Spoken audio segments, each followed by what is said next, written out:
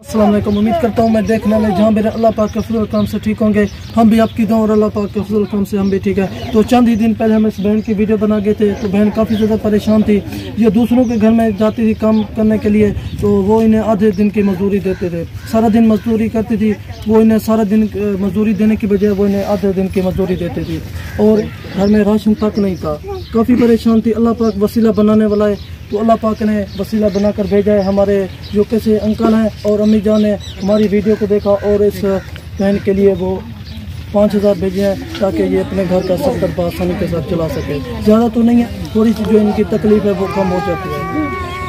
जो कैसे हमारे अंकल जी हैं और अम्मी जान ने इस बहन के लिए पाँच हज़ार भेजे हैं। वालेकुम। ये जो कैसे हमारे अंकल हैं और अम्मी जान ने आपके लिए पाँच हज़ार भेजे हैं।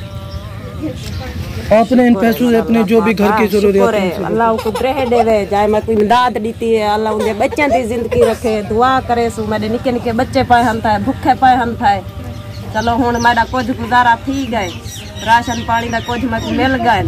दुआ करे सो मेरे बच्चे दुआ करे सन मैं ही दुआ करे सो अल्लाह उन्हें को ग्रह करे अल्लाह उन्हें बच्चों की ज़िंदगी रखे। बस उठते बहदे वाले दुआ करे सो मेरे निके निके छोटे बच्चे पाए हम था बस हर वक्त दुआ करे सो नमाज़ के टाइम दुआ करे सो। जो नमाज़ पढ़सू दुआ करे सो उन्हें को अल्लाह उन्हें को द्रेह देवे साकू देंदे पाए नसा गरीबें दी इमदाद करेंदे पाए। दुआ करे सो हर वेले दुआ करे सो उन्हें कुते उनके जो घर में तकलीफ़ है बीमारी हाँ अल्लाह पाक से मुसीबत तकलीफा दूर तक अल्लाह से करे सी उन्हें अल्लाह सोड़ा शिफा दे सी खैर करे सने। आमीन। दुआ